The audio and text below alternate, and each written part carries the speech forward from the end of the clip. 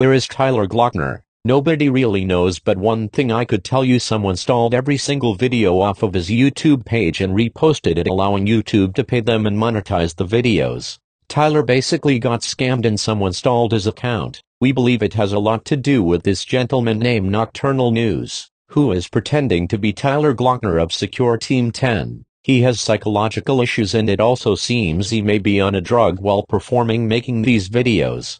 Tyler Glockner gave him an opportunity one time and posted his video link on one of Tyler's videos. Since then business went wrong and Tyler did not agree with this guy using his music on all of his videos.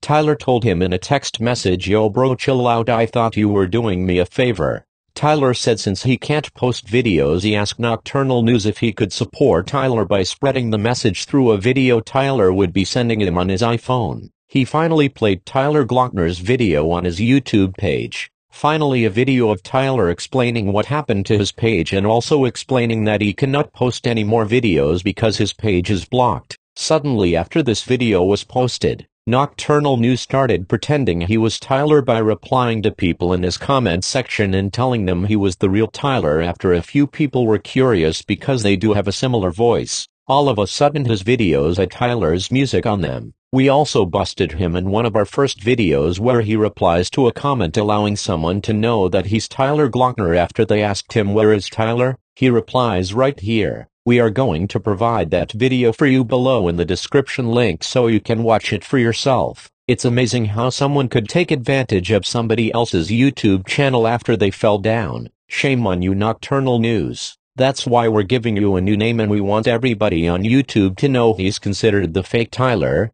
Let me repeat that one more time. Fake Tyler. I hope this video helps everybody out there to understand what's really going on. Is this man behind setting up Tyler and is he the one stealing the videos? He's a lunatic he's psycho and everything he says is a lie. He is also very contradicting one day he's Tyler's cousin the next day he's Tyler's best friend when Tyler doesn't even know this guy from a hole in the wall. This was a one-time favor Tyler asked this guy to do. I guess he ran with it and thinks since his subscribers think it's Tyler because of his voice he's just going to go along and keep playing Mr. Nice Guy. Let me know what you guys think about this wacko and is he a lunatic for pretending to be Tyler so much? He really needs